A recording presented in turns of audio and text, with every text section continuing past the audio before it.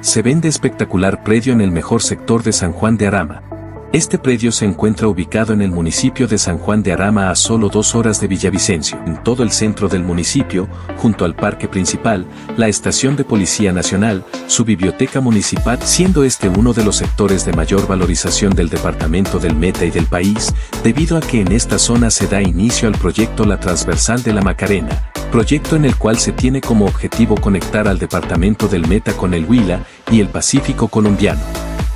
Asimismo esta zona es conocida por sus maravillas naturales como el cañón del río Huejar, el cual es visitado por miles de turistas al año.